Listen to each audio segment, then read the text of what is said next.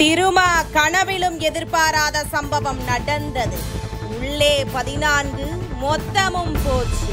உள்ளே வரும் Shanavas.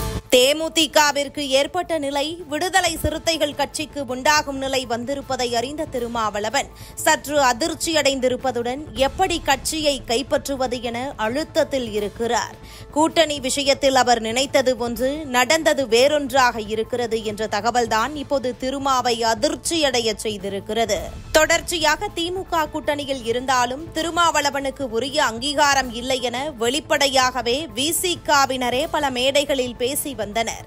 MLA MP என கட்சிக்கு இருந்தும் குறிப்பாக தேர்தல் ஆணையத்தின் அங்கீகரிக்கப்பட்ட கட்சியாக விடுதலை சிறுத்தைகள் வளர்ந்த போதும் திமுக கூட்டணியில் அதற்கு உரிய அங்கீகாரம் இல்லை என்பது உள்ளாட்சி தேர்தல்களில் பல இடங்களில் விசிகாவினருக்கு ஒதுக்கப்பட்ட இடங்களில் திமுகவினரே போட்டி போட்டு வெற்றி பெற்றனர். இதை வெளிப்படையாக திருமாவளவன் கண்டித்த நிலையில் பல இடங்களில் எந்த மாற்றமும் இல்லை. இதுவரை இணக்கமாகத்தான் இருந்தார் திருமா. ஆனால் சமீபத்தில் விசிகாவில் இணைந்த லாட்ரி மார்டின் மருமகனுக்கு திமுகவிடம் பொது தொகுதியில் நிற்க இடம் கேட்டார் திருமா. ஆனால் பொது தொகுதி ஒதுக்க முடியாது என கைவிரித்தது திமுக. ஆனால் அப்போது விசிகாவில் உள்ள சிலரே திருமாவிற்கு எதிராக நிலைப்பாடு எடுத்ததாகவும் குறிப்பாக விசிகாவின் துணை பொதுச் செயலாளர் ரவிக்குமார் மற்றும் சட்டமன்ற உறுப்பினர் ஆளூர் ஷானவாஸ் போன்றோர் வெளிப்படையாக திமுக ஆதரவு நிலைப்பாடு எடுத்ததாக சொல்லப்படுகிறது. இந்த நிலையில்தான் இரண்டாயிரத்தி இருபத்தி ஆறு சட்டமன்ற தேர்தலில் குறைந்தது இருபது இடங்களை கேட்டு பெற திருமாவளவன் முடிவு செய்திருக்கிறார். இந்த தகவலும் திமுக தலைமைக்கு சென்றிருக்கிறது.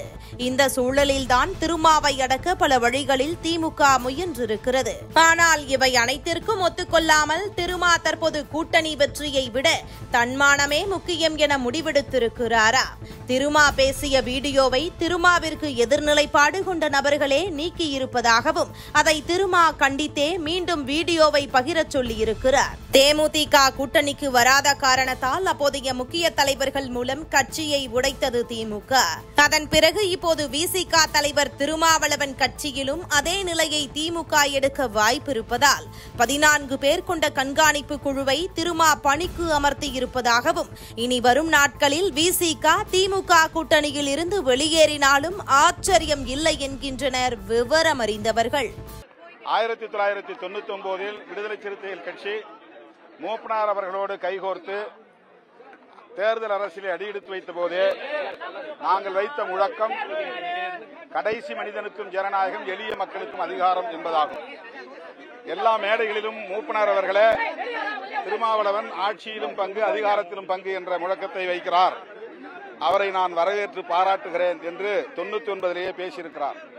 அதை நினைவுபடுத்தி நேற்று நான் செங்கல்பட்டிலே பேசினேன். அந்த பேச்சை எடுத்து தோழர்கள் என்னுடைய அட்மின் குழுவை சார்ந்தவர்கள் இந்த நிர்வாக குழுவை சார்ந்தவர்கள் அதை பதிவிட்டிருக்கிறார்கள் என்று கருதுகிறேன். ஏன் அதை திரும்ப எடுத்தார்கள் என்று தெரியவில்லை. இன்னும் அவர்களை நான் தொடர்பு கொண்டு பேசவில்லை. இல்லை அது அப்படிலாம் ஒன்றும் கிடையாது. நான் வந்து டெல்லியிலேருந்து ஃப்ளைட்டில் வந்தேன். இங்கே இறங்கின பிறகு தான் மதுரையில் சொன்னாங்க. இனிமே தான் உங்களை நான் தொடர்பு கொண்டு பேசணும். அது வந்து அது வந்து புதுசாக வச்ச கோரிக்கை அல்ல. இப்போது வச்ச கோரிக்கை அல்ல. நாங்கள் எப்பவுமே வந்து தொடர்ந்து சொல்லிட்டு இருக்கிறதா மக் அதிகாரம் வந்து பகிர்ந்தளிக்கப்படணும். எளிய மக்கள் கையில் அதிகாரம் வந்தாதான் உண்மையான ஜனநாயகமாக இருக்கும் அப்படிங்கிறத தொண்ணூத்தி அடி எடுத்து வைக்கும்போது நாம் நெய்வேலியில் சொன்ன முழக்கம் அது. அதை கேட்டுட்டு தான் மூப்பனார் வந்து இந்த மதுரையில் முத முதல்ல தேர்தல் பிரச்சார பொதுக்கூட்டம் முதல் முறையாக மதுரையில் தான் நாங்கள் கலந்துக்கிட்டோம் மூப்பனாரோட. அப்போ மேடையிலே அவர் கேட்டார் திருமாவளவன் வந்து இந்த மாதிரி ஒரு முழக்கத்தை வச்சிருக்கிறாரு. ரொம்ப ஜனநாயகபூர்வமான ஒரு முழக்கம் அது. அதில் நான் முழுமையாக உடன்படுறேன்.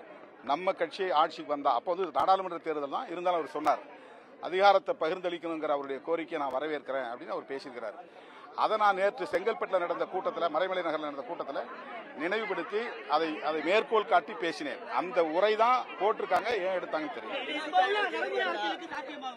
அதனால ஒன்றும் தப்பு கிடையாது. எப்பவுமே வந்து எப்ப எப்ப இப்ப இப்ப வந்து இப்ப என்ன ஜனநாயகத்து விரோதமான ஆட்சியை நடந்துகிட்டு இருக்கு. அப்படி இல்லை ஜனநாயக ஜனநாயக பரவலாக்கத்தில் அதிகார பரவலாக்கம் முக்கியமானது. ஒரு பங்கு ஒரு ஒரு முக்கியமான ஃபேக்டர் அது. அதை வந்து எப்பவும் பேசலாம் எப்பவும் கேட்கலாம். அது ஒன்றும் தப்பு கிடையாது. ஆ? இப்போ ஒன்றும் எலெக்ஷன் நேரம் இல்லைல்ல. நான் கேட்டிருந்தா ரெண்டாயிரத்தி இருபத்தொன்னு தேர்தலில் கேட்டிருக்கணும்.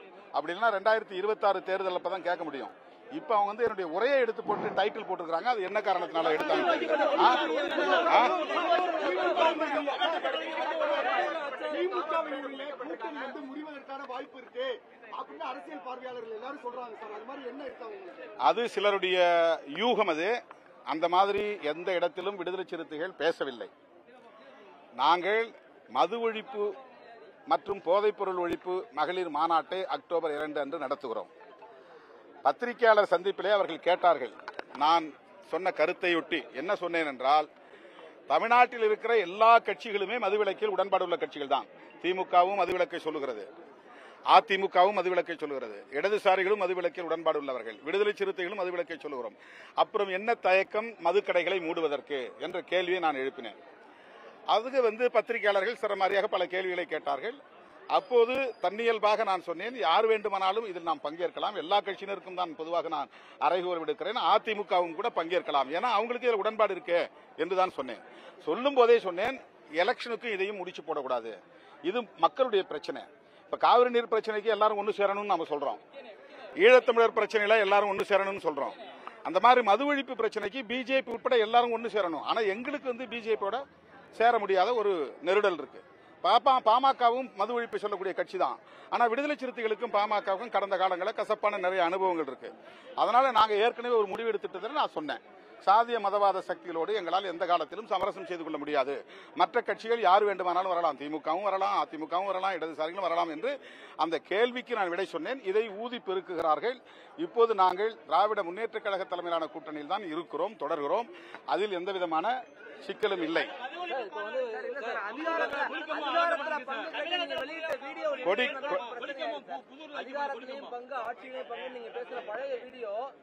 பழைய வீடியோ இல்ல அது புது வீடியோ தான். பழைய செய்தியை கோட் பண்ண பழைய செய்தியை கோட் பண்ண ரெண்டு பேர் அட்மின் இருக்காங்க. அது என்ன அவங்களுக்குள்ள என்ன சிக்கல் தெரியல. அதனால அந்த குழப்பம் ஏற்பட்டிருக்கு. மற்றபடி வேற ஒண்ணும் இல்ல.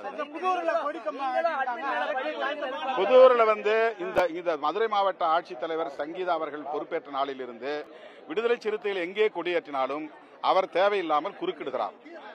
அடிக்கடி ஏதேனும் பிரச்சனை செய்து கொண்டே இருக்கிறார். உயர்நீதிமன்றத்திலே ஆணை பெற- பெற்ற பிறகும் திருமங்கலம் அருகே மேலப்பட்டி என்கிற இடத்துல விடுதலை சிறுத்தைகள் கொடியேற்ற அனுமதி தாருங்கள் என்று சொன்ன பிறகும் தர மறுக்கிறார். அதே போல ஊமச்சிக்குளம் பக்கத்திலே ஆலத்தூர் என்கிற இடத்தில் விடுதலை சிறுத்தைகள் கட்சி கொடியேற்றுவதற்கு அனுமதி தாருங்கள் என்று நீதிமன்றம் சொல்லியும் தர மறுக்கிறார். இப்போது புதூர் பக்கத்திலே ஏற்கனவே தொழிலாளர் விடுதலை மொழி ஏற்றிய கொடி காவல்துறையினரால் அகற்றப்பட்டு விட்டது. சாலையை அகலப்படுத்துகிறோம் என்கிற பணியில். அப்போது யாரும் எதிர்ப்பு தெரிவிக்கவில்லை அதை விட்டுவிட்டார்கள். அவர்கள் தான் இப்போது சற்று உள்ளே தள்ளி ஒரு இருபது அடி உள்ளே தள்ளி கொடி கம்பத்தை நாட்டியிருக்கிறார்கள். ஏற்கனவே ஒரு கொடி இருக்கு ரெண்டாவது கொடி எதுக்கு? முதல்ல என்ன சொன்னாங்கன்னா நீங்க 50 அடி அறுபது அடி ஏத்துறீங்க அதனால முடியாதுன்னு சொன்னாங்க. இப்ப என்ன சொல்றாங்கன்னா அனுமதி இல்லாம ஏத்துறீங்கன்றாங்க. அடுத்து என்ன சொல்றாங்க கார்ப்பரேஷன் மதுரை கார்ப்பரேஷன் அனுமதி தந்தாதான் என்ஓசி தந்தாதான் ஏத்த முடியுன்றாங்க. இது தனிப்பட்ட முறையில இந்த மாவட்ட ஆட்சித்தலைவர் விடுதலை சிறுத்தைகளுக்கு எதிராக தொடர்ந்து செயல்பட்டு வருவது தெரிகிறது. இதை அரசின் கவனத்திற்கு முக்கியமான மூத்த அமைச்சர்களின் கவனத்திற்கு கொண்டு சென்றிருக்கிறோம் அமைச்சர்கள் அனுமதி அளிப்பார்கள் அல்லது உரிய அனுமதியை வழங்க வழங்கிய பிறகு நாங்கள் அந்த கொடியை.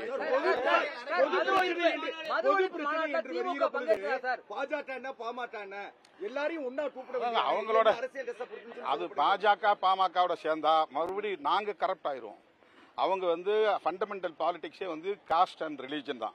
அதனால அவங்களோட சேர்ந்து எங்களுக்கு ஏற்கனவே பாமக சேர்ந்த ஒரு அனுபவம் இருக்கு. அந்த அனுபவத்தால நாங்க வந்து ஒரு ஒரு ஸ்டாண்டிங் ஆர்டர் மாதிரி அதை எடுத்துட்டோம். அந்த முடிவு நாங்க எடுத்துட்டோம். அதனால நாங்க கூப்பிட முடியாது அவங்க தனியா அவங்க தனியா வந்து பாமக மது ஒழிப்பு நடத்தினா அதை நாங்க வரவேற்காது. எங்களுக்கு ஒன்றும் பிரச்சனை இல்லை. நாங்க நடத்துற களத்துல எங்களால இணைய முடியல. அந்த அளவுக்கு எங்களுக்கு வந்து கசப்பான அனுபவத்தை அவங்க தான் கொடுத்தாங்க. நாங்க கை கோர்த்தோம். ஐந்து ஆண்டுகள் கை கோர்த்து பயணம் பண்ணோம். திடீர்னு எங்களுக்கு எதிராக திரும்பி அவதூறுகளை பரப்புனாங்க. அதனால நாங்க வந்து தீர ஆலோசித்து தான் கட்சியினுடைய உயர்நிலை குழுல முடிவெடுத்தது. அந்த முடிவை வந்து நான் சொன்ன இது மது ஒழிப்பில் மது ஒழிப்பில் உடன்பாடு உள்ள யாரும் கலந்து கொள்ளலாம் என்று நான் அங்கே சொன்னேன். அதை மீண்டும் வழிமொழிகிறேன். யார் யாரை அழைப்பது என்பது குறித்து இன்னும் நாங்கள் முடிவு செய்யவில்லை. யாருக்கும் அதிகாரபூர்வமாக நாங்கள் அழைப்பு விடுக்கவில்லை. இருப்பது இன்னும் பதினைந்து நாட்கள் தான். நாங்கள் உயர்நிலை குழுவிலே முடிவு பண்ணி யாரை அழைப்பது என்று. முதல் நாங்கள் என்ன முடிவு பண்ணிருக்கோம்னா இது மகளிர் மாநாடு என்பதனால் தேசிய அளவில் மகளிர் அணி தலைவர்களை அழைக்கலாம் என்றுதான் நாங்கள் முடிவு செய்திருக்கிறோம். இது வந்து பத்திரிகையாளர் கேட்ட கேள்விக்கு நான் சொன்னேன். மது ஒழிப்பில் எல்லாருக்கும் உடன்பாடு இருக்கு. திமுக ரெண்டாயிரத்தி பதினாறு தேர்தல் அறிக்கையில் மதுவை ஒழிப்போம் சொல்லியிருக்காங்க அதே மாதிரி அதிமுகவும் தேர்தல் அறிக்கையில் மதுவை ஒழிக்கணும் மதுக்கடை மதுக்கடைகளை மூடணும்னு இருக்காங்க. அப்போ ரெண்டு கட்சி தான் பெரிய கட்சி ஆண்டு கட்சி ஆளுங்கட்சி.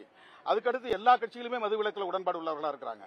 பாதிக்கப்படுகிற பெண்கள் கண்ணீர் விடுகிற பெண்கள் விதவைகள் பிரச்சனையை பேசாம அந்த வழியை வலியை பற்றி பேசாம கூட்டணி கணக்குகளை பற்றி எல்லோரும் இதை திசை திருப்புகிறார்கள் மடைமாற்றம் செய்கிறார்கள்.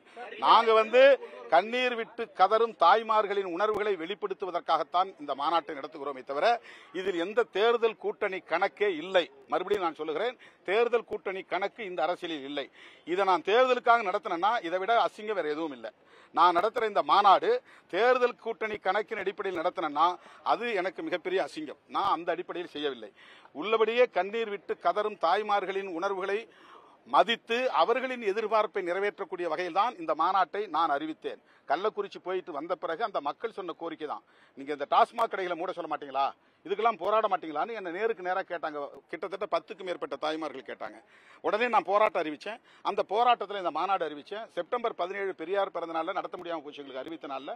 அதனால் காந்தியடிகளும் அதுக்கு பொருத்தமானவர் தான் மதுவிலக்கு கொள்கையில் தீவிரமாக இருந்தவர். அவருடைய பிறந்த நாளில் இந்த மாநாட்டை நடத்துகிறோம் இது நூறு விழுக்காடு மது ஒழிப்புக்கான அரசியலை மட்டுமே முன்னிறுத்தும். இதுபோன்ற முக்கிய நிகழ்வுகள் அரசியல் தகவல்களை ஆழமாக மாறுபட்ட கோணத்திலும் அறிந்து கொள்ள மறக்காமல் உங்கள் டிஎன்எஸ் டுவெண்ட்டி ஃபோர் டிஜிட்டல் பக்கத்தை பின்பற்றிக் கொள்ளவும்.